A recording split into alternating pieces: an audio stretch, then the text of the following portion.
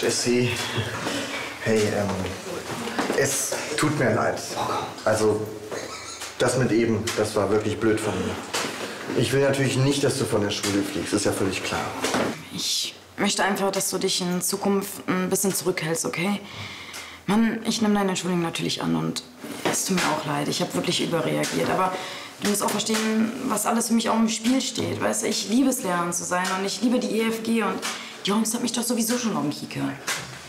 Oh. Ey, ist das euer Scheiß Ernst? Was soll das? Könnt ihr nicht woanders spielen? Ihr gebt mir voll auf den Piss, ey. Ey, hallo? Hast du Augen im Kopf oder was? Ich bin hier gerade am Gewinn. Damn! Vom Kopf her und vom Verstand her verstehe ich dich ja auch. Aber das mit dem Abstand, das ist nun mal nicht so einfach für mich. Ich habe mich einfach in dich. Wow.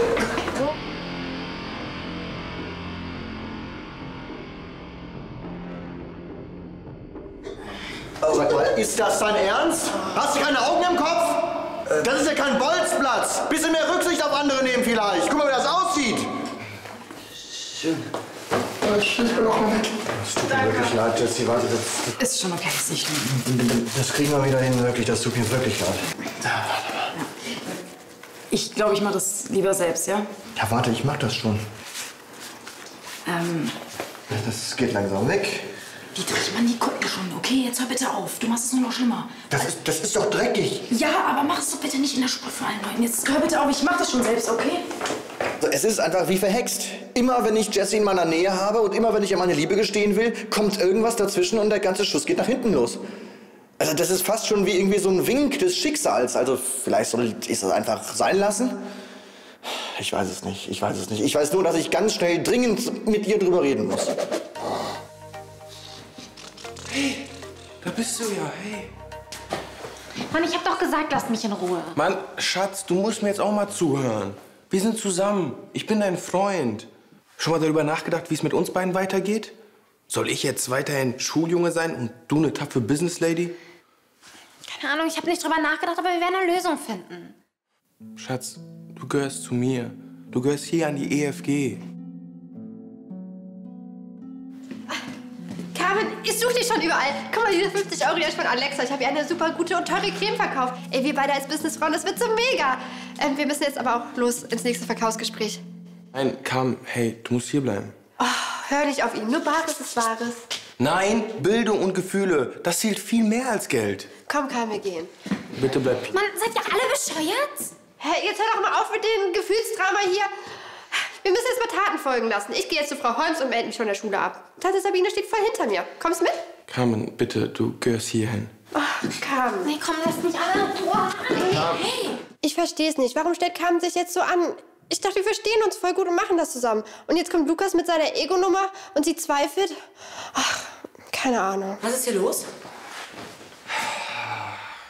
Frau von Wiesenau, Carmen will jetzt auch die Schule schmeißen. Hä, na und sie ist doch alt genug, selbst zu entscheiden, was sie möchte. So wie ich auch.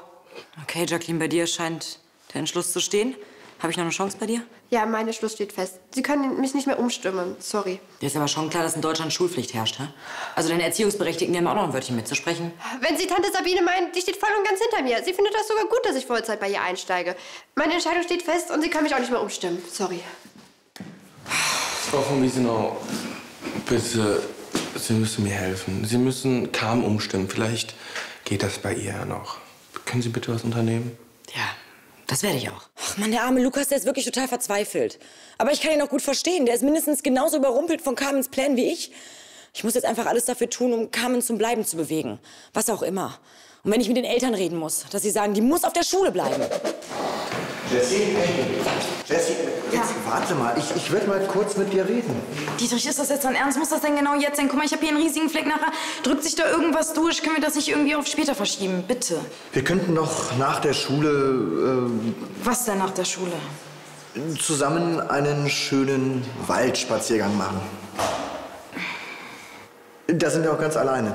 Und keiner beobachtet uns. Hey, eins nach dem anderen, okay? Ich würde gerne diesen Fleck erstmal rauswaschen, dann will ich den Pullover trocknen lassen und dann hole ich mir gegebenenfalls irgendwas aus der Fundkiste, okay? Und danach können wir auch vielleicht, aber auch nur vielleicht zusammen diesen Waldspaziergang machen. Okay, ich muss das jetzt erst, echt erstmal machen.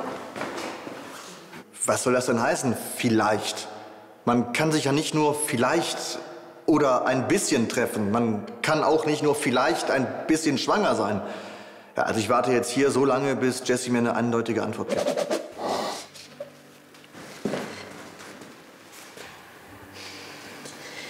Hey, das Ganze scheint dich ganz schön mitzunehmen. Hm? Ich weiß einfach nicht, wie ich mich entscheiden soll.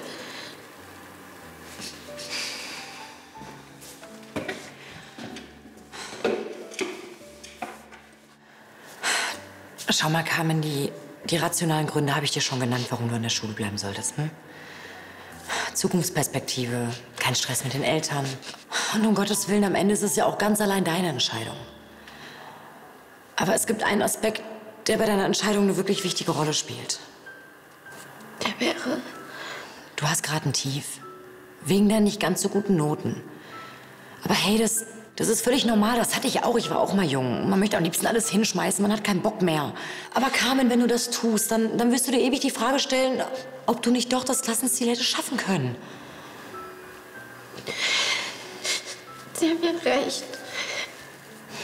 Und außerdem möchtest du immer das Gefühl haben, dass du versagt hast. Hm? Dass du es nicht probiert hast. Das wird dich bis in dein Erwachsenenalter noch mitnehmen. Viel positiver und schöner für dein Selbstwertgefühl ist es doch, wenn du sagen kannst, hey, ich, ich habe die Zähne zusammengebissen, ich habe mir den Arsch aufgerissen, ich habe alles gegeben und ich habe es geschafft, ich habe mein Ziel erreicht, ich kann stolz auf mich sein, ja? Und ich habe nicht aufgegeben. Hm? Das wäre schön. Also nochmal, wenn du, wenn du zurückkommen möchtest und es dir anders überlegst, die Tür steht dir immer offen. Ja, ich wollte doch niemand auf den Schlips treten, aber ich habe ja diesen Traum von der Kosmetikverkaufsqueen. Ah, ja, ja. Jacqueline, ich finde es wirklich schade, dass du gehst. Und ja, ich, ich gebe zu, ich muss bei dir leider aufgeben. Hm? Ich möchte nur eine Sache noch gern mit auf den Weg geben. Das heißt ja nicht, dass das jetzt alles gewesen ist mit der Schule. Hm? Du kannst zurückkommen oder du kannst auch ein freies soziales Jahr machen, um dich vielleicht erstmal zu orientieren, wenn du gerade partout sagst, Schule kommt für dich nicht in Frage. Ja, oder Abendschule. Also, wenn das eine Option ist, deinen Abschluss zu machen, dann ruf an. Wir helfen dir gerne. Jederzeit. Ja? Danke. Ähm, junge Dame, Carmen, mir hat da so ein Vögelchen gezwitschert, dass du mir was sagen möchtest. Ich werde bleiben. Ähm, ich werde versprechen, dass ich mich am Riemen reißen werde und dass mein Notentief wieder besser wird. Und Jacqueline, es tut mir wirklich leid. Ach, alles gut. Weißt du, so brauchst du die Kohle nicht teilen. Und ich kann dich dazu nicht zwingen, wo du gar keine Lust drauf hast. Das bringt mir doch auch nichts. Hm? Jacqueline, ich hab dich lieb, wirklich. Bleib genauso wie du bist. Du bist so ein toller Mensch und du wirst deinen Weg gehen. Danke. Du auch.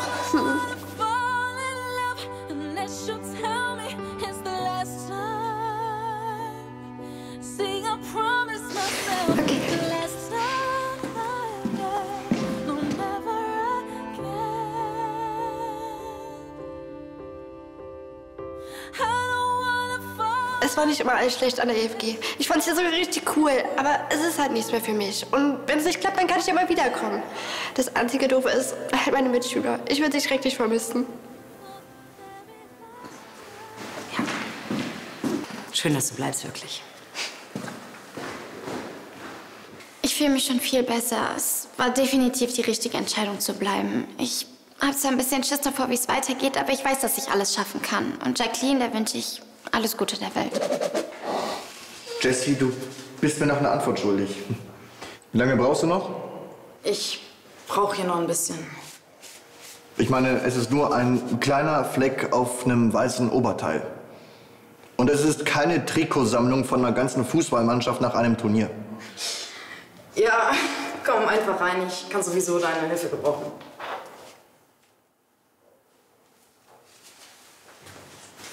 Kannst du das vielleicht kurz stramm halten, das mit beiden Händen, dass es irgendwie ein bisschen strammer ist? Vielleicht geht der Fleck dann besser weg. Hast du, danke.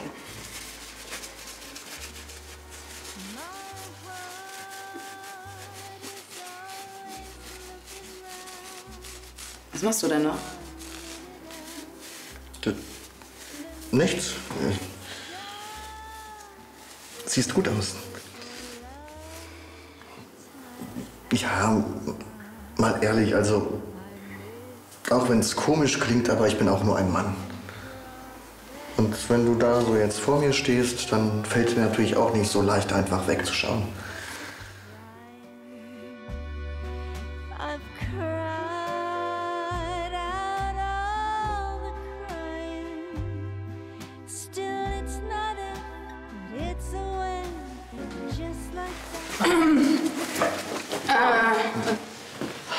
Wobei störe ich Sie zwei denn gerade? Also, das ist echt nicht so, wie es aussieht. Wirklich nicht. Dann erklären Sie mir, was ich da gerade gesehen habe, Herr Nolting. Ich? Ja. Ich hab gerade versucht, dir dabei zu helfen, diesen Fleck da wegzumachen. Ja. Alles gut. Ich habe eh schon schlechte Laune. Jacqueline hat mir gerade erklärt, dass sie mitten im Schuljahr die Schule schmeißt. Was? Warum will Jacqueline denn weg? Das erkläre ich Ihnen später. Können wir uns darauf einigen, dass so körpernahe Hilfsarbeiten demnächst unterlassen werden? Ja. Können wir uns auch darauf einigen, dass diese körpernahen Zufälle aufhören? Ja. Gut, fein. Dann anziehen, mit oder ohne Blick, ist mir egal. Und Sie können gehen. Ich würde mir gerne die Hände waschen, das kann ich ganz alleine ohne Hilfe. Total verrückt. ja. Ja. Ja. Gott sei Dank hat Frau Holmes noch mal ein Auge zugedrückt. Glück im Unglück sozusagen, aber ich glaube, wir sollten das nicht noch weiter herausfordern. Äh, Jesse, ich, ähm, ich sehe das wirklich genauso wie du. Gut, dann sind wir uns ja einig. Ja, also ich sehe das genauso wie du, dass wir uns am besten nur noch außerhalb der Schule sehen sollten.